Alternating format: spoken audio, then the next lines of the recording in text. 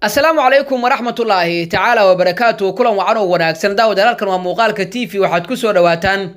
wararkii ugu dambeeyey ee dagaalka ka socda dalkaasi etoobiya qodobada saaxiibayaal aad daawan doontaan. Waxaa qayb ka noqonaya jabhadda t b l f iyo sagaal kooxood oo kale oo u heshiiyey dowladda dalkaasi etoobiya in ay ridaan ayay go'aan ku gaareen warbixin iyo xogo muhiima ayaanu idinkaga soo gudbin doonaa waxaa sidoo kale aad daawan doontaan saaxiibayaal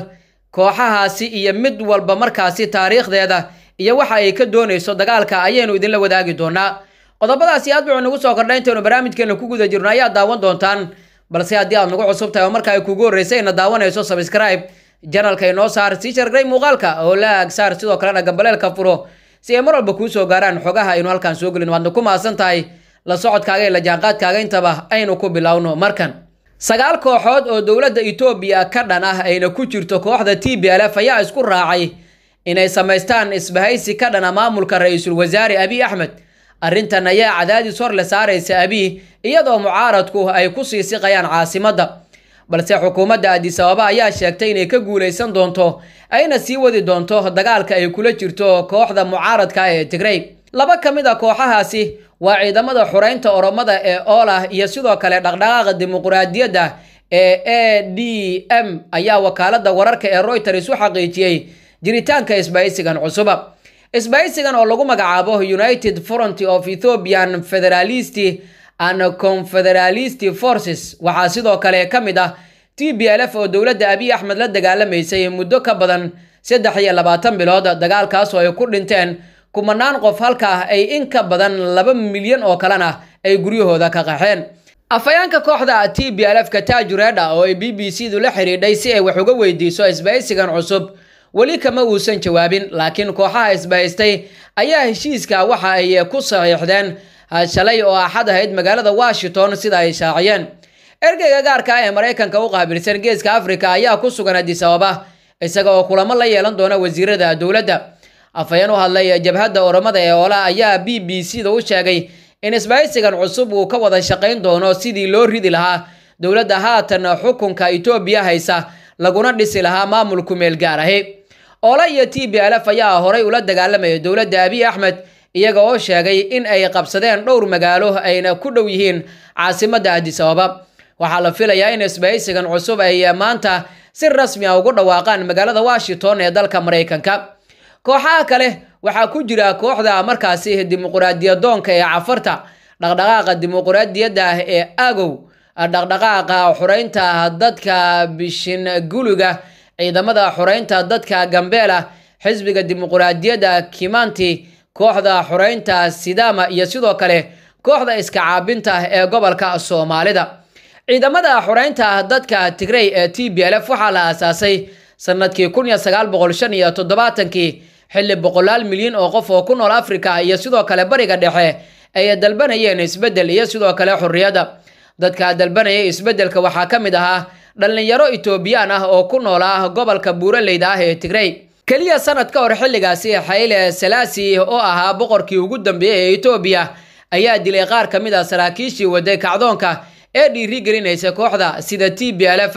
isaga oo soo rogay markaasi xukun aad u adaga gudaha tigrey waxaa ka jirtay caro muddo soo jiitamaysay oo loo qabay kooxaha kacdoonka ka wada gobolkaasi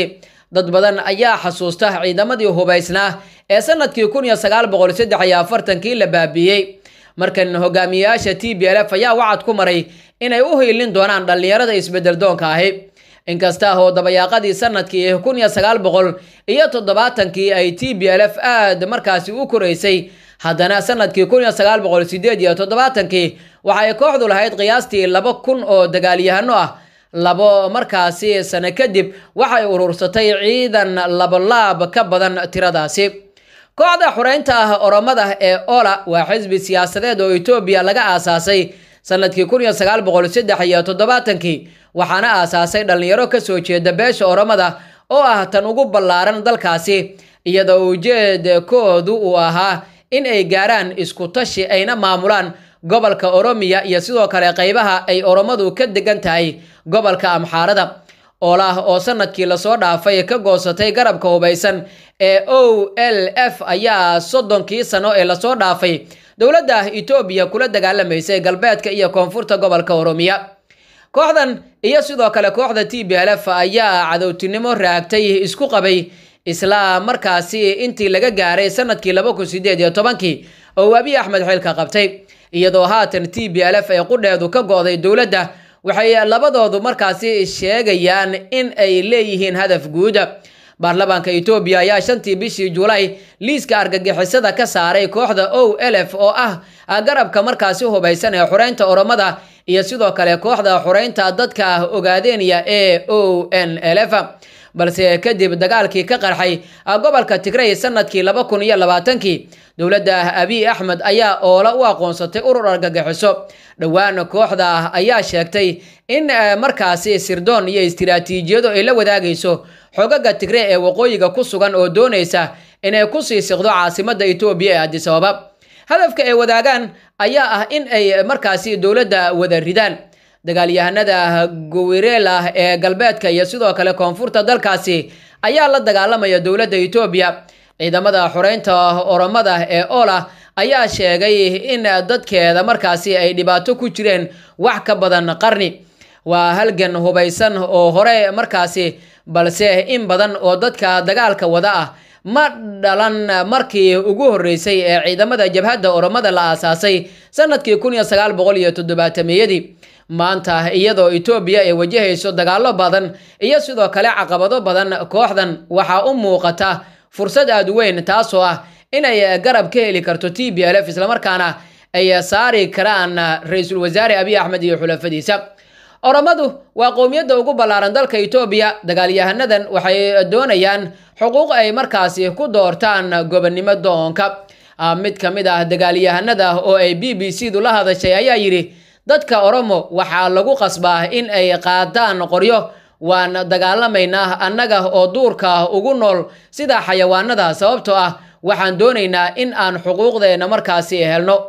Dad badan oo etoobiyaan ah ayaa qoriga u arkaa xalka ugu fiican. Dal ay ku nool yihiin in ka badan boqol milyan oo qof iyo sidoo kale siddeetan qowmiyadood qaarkood ayaa isku jeestay iyaga oo dhul ku dagaalamaya waqooyiga tigree ku dhowaad shan boqol oo kun oo qof ayaa qarka u saaran macluul iyadoo mucaaradku ay la dagaalamayaan dowladda. Balse oola ayaa lagu eedeeyey tacadiyo sawiro muujinaya raadka uu reebay weerar markaasi la sheegay inuu dhacay. Julaay mid ka mid ah kooxaha u dooda xuquuqda aadanaha ayaa sheegay in mucaaradka ah ay markaasi sanadkan dileen in ka badan siddeed boqol oo qof oo qowmiyadda amxaarada ka soo jeeda tewodros tirve oo ah guddoomiyaha jaaliyadda amxaarada ee maraykanka ayaa b b c da u sheegay ciidamada xoreynta oromo ayaa doonaya in ay markaasi la isirtiro dadka aan oromada ahayn gaar ahaana amxaarada ka soo jeeda gobolka oromada iyo sidoo kale inay meesha ka bixiyaan ra'iisul wasaare abiy axmed ayna gobolka oromiya hoos keenaan hogaankooda